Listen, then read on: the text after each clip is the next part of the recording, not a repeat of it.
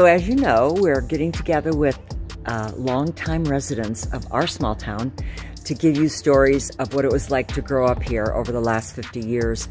Um, they have a perspective that is going to be important because now the small town isn't so small anymore. So we're going to find out what they feel about that and uh, what they're going to do when the town just bursts its seams.